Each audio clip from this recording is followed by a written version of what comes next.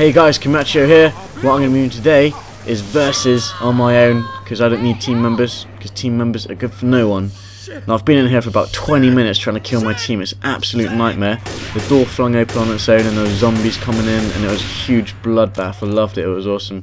But now is the time for me to own everyone on my own. So um, yep, let's fucking do it. Oh, for fuck's sake! How the fuck did that happen already? Fucking hell! Where's my fucking teammates when I need them?